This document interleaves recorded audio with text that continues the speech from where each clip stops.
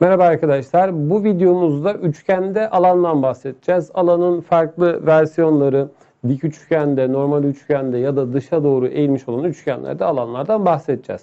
Bir giriş yapalım. Öncelikle bir kenar ve yüksekliği verilen üçgenin alanı. Yani burada tabii biraz fazla detaylar var ama bence bence şöyle bir üçgen çizecek olursak şuradan başlayabiliriz alanları anlatmaya herhangi bir taban. Tabanımızın bir ismi olsun. A yükseklik H. Herhangi bir de bir yükseklik. Bu ikisinin çarpımının yarısı alan verir arkadaşlar. Bunu sadece yukarıdan aşağıya değerlendirmemek lazım. Bazen şu rengini değiştirelim. Sağa ya da sola doğru olan tabanlarda da alan görebiliriz. Mesela bu yükseklik B. Buna indirilen taban B, buna indirilen yükseklik K olsun. O zaman da B çarpı K bölü 2 alan veriyor. Ya da bir üçüncüsünü alalım. Üçüncüsünde bu sefer diğer sol tarafa doğru olan kenar C olsun. Yükseklikte L olsun. O zaman da C çarpı L bölü 2 alan verir. Bunların üçü de geçerlidir yani. Bunlar e, bir üçgenin alanını bulmak için yeterli. Şimdi örnek 1'e bakacak olursak örnek 1'de AD dik doğru. Sonra BE de dik doğru. Aynı şekilde FC de dik olmak zorunda. Öncelikle burası 90 derece. Şu işareti koyalım. Şimdi geçelim ikinci ifadeye uzunluklara. BC uzunluğu 16 birim. AB uzunluğu 12 birim. Ve bir de AD verilmiş. Şu dik uzunluk verilmiş. Bu dik uzunluk da 9 birimmiş. Şimdi sevgili arkadaşlar bu 16 ile 9 alanı bulmak için yeter de artar aslında. İsterseniz bulalım. 16 çarpı 9 bölü 2. Ancak Sonucu bulmamıza gerek yok. Çünkü başka bir versiyondan ya da başka bir taraftan da alanı bulabiliriz. 12 ile CF'nin çarpımının yarısı da yine alan veriyor. O zaman biz CF'ye x dersek 12 çarpı x bölü 2 de yine alan veriyor. Bunlar birbirine eşit olduğuna göre ikiler birbirini götürsün. 12'yi 4'e böldüm 3 kaldı. 16'yı 4'e böldüm 4 kaldı. 3'ü böldüm 3'e gitti. 4'ü 3'e böldüm 3 kaldı. Sol tarafta sadece 4 çarpı 3 yani 12. Sağ tarafta da sadece x kaldı. Demek ki x eşittir 12 ya da diğer adıyla FC eşittir 12 birim bulunur. Gelelim bir başka örneğe. Örnek 3'e bakalım mesela. Örnek 3'te der ki ABC bir dörtgen DE dik uzunluk DF dik uzunluk. Uzunlukları da üzerlerine yazmış. 4, 10. Yalnız arta kalanlar var. Onları da yazalım. AB'nin tamamı 12 birimmiş. Bir de BC'nin tamamı 16 birimmiş. Bu verilenlere göre alan ABC'de yani bütün dörtgen alanı isteniyor.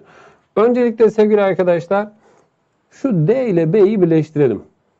Bunu neden birleştirdik? Hemen söylüyorum iki ayrı üçgen oluşturmak istiyorum. ABD üçgeni, DBC üçgeni. Her iki üçgenin de alanını ayrı ayrı bulup toplayabiliriz.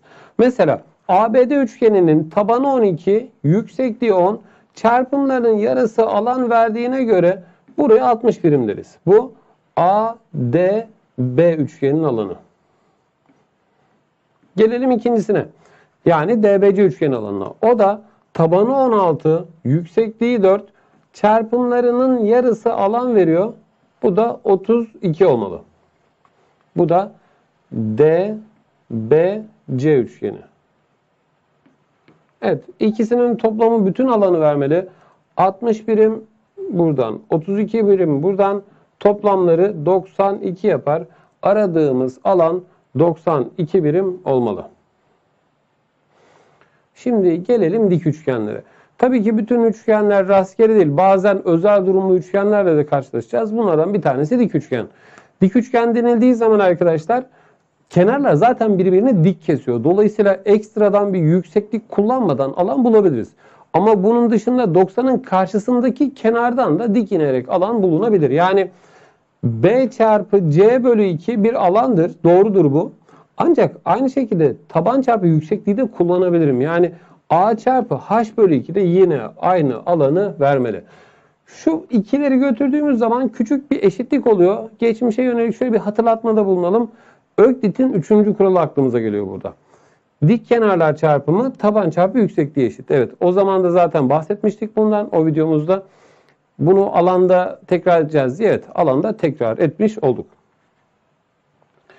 Şimdi sevgili arkadaşlar şöyle örneği seçerek ilerlemek istiyorum.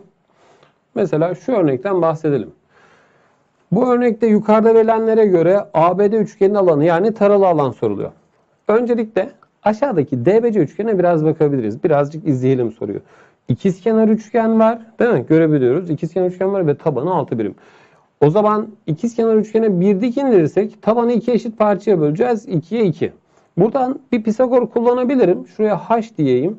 h kare artı 2'nin karesi yani 4 eşittir 6'nın karesi yani 36'ya. 4'ü bu tarafa eksi olarak atarsam h kare eşittir 32. 32'yi bugün bir kere daha kullandık sanırım. h eşittir 4 kök 2. Evet h 4 kök 2 birim. Şöyle dışarıya taşısak daha iyi olur. 4 kök 2.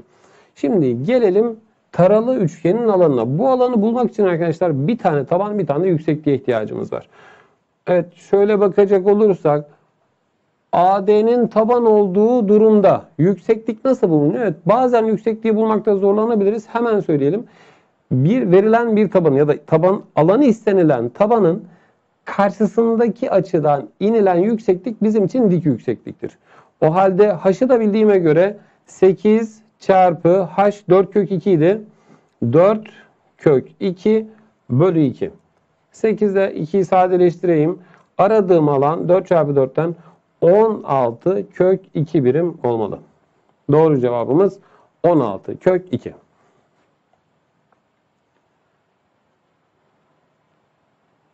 Evet. Sorular kısmının ilk sorusuna bakalım. Buranın bir kısmı örnekler, bir soru, bir kısmı sorular diye devam ediyor. Şimdi sorular kısmının ilk sorusu. Verilen ifadede taralı alan kaçtır? Burada arkadaşlar neye ihtiyacımız olacak? Hemen söyleyelim. Tabanı 4 olan bir üçgenin yüksekliğine ihtiyacımız var. Yüksekliği dışarıdan olduğunu gördük. Evet karşısındaki B noktasından inilen dik yükseklik. Ancak bu dik yükseklik sadece bizim üçgenimizi bağlamıyor. Aynı anda 45 dereceyi gören bir 90 derecemiz var. Yani sağ tarafta aslında bir 45-45-90 üçgeni var. Dolayısıyla kenarlar arasındaki oranı kısa hatırlayalım hemen. Kenarlar birbirinin aynısı 90'ın karşısı. Bunun kök 2 katıydı. Yani buralar 3 kök 2'ye 3 kök 2 olmalı. O halde bizim aradığımız taralı alanın tabanı 4, yüksekliği ise 3 kök 2 birim oldu. İşte çarpımların yarısı alan verir.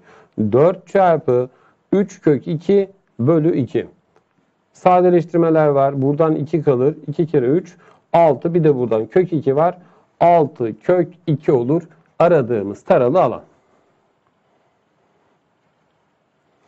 Evet e, son derece önemli ya da son derece kısa yol e, soruları tamamen çözümünü kısaltacak bir detayımız var burada. Formül diyebiliriz bunu ama kısaltma demek daha yerinde olur. Tabanlar üçgenlerin alanını belirler. Bunu kendimiz bir üçgen çizerek gösterelim.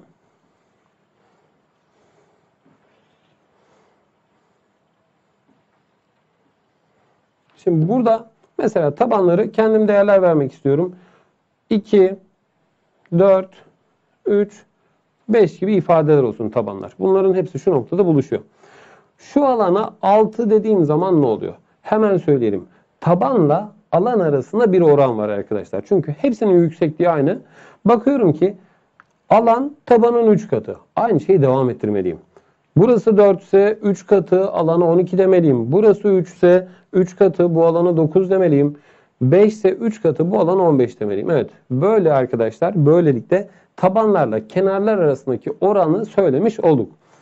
Bunu soru üzerinde görebiliriz. Mesela örnek 6'ya bakalım. Burada bazen tabii ki takviye doğrulara da ihtiyacımız olabiliyor. Mesela şu DB'nin birleştirmesi gibi bir takviyeye ihtiyacımız var. Bakıyorum ki aynı noktadan olması koşuluyla 6 birimin gördüğü alan 15 ise bunun üçte biri olan 2'nin gördüğü alan bunun üçte biri olan 5 birim olmalı. Evet tekrar ediyorum. 6'ya 2 geldiyse alanlar, alanlar olarak 15'e de 5 gelmeli. Şimdi bakış açısını değiştiriyorum. Bu sefer B noktasından bakarak konuşmak istiyorum. Şunların her ikisi de birbirine eşit. X'e X.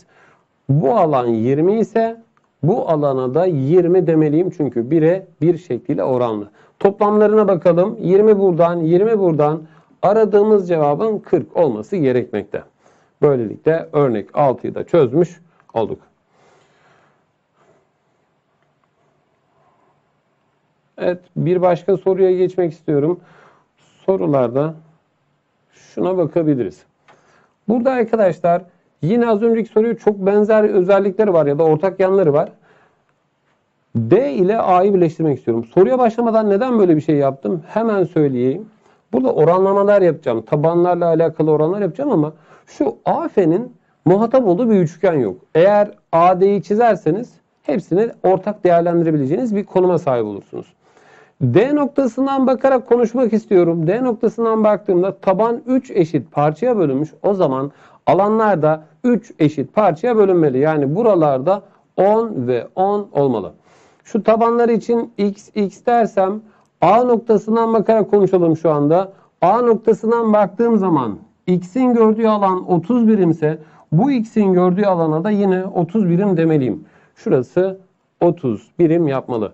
Bütün alan soruluyor. 30 buradan, 30 buradan 60 birim olmalı ABC üçgenin alanı. Evet bu kısaltmalara dikkat edelim. Bazen alan sorularına böyle ekstra çizgiler gelebilir. Bir şeyler eklemeniz gerekebilir. Buralarda birazcık uyanık olmak gerekiyor.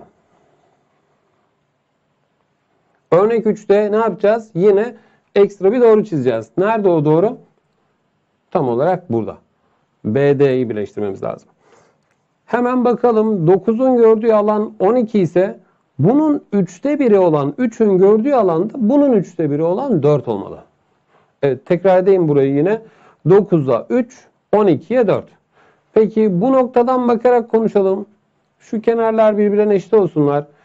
X'in gördüğü alan 16 birim. O zaman buradaki X'in gördüğü alanda 16 birim olmalı ve toplam alan için 32 birim demeliyiz. Alan ABC 32 birim yapar.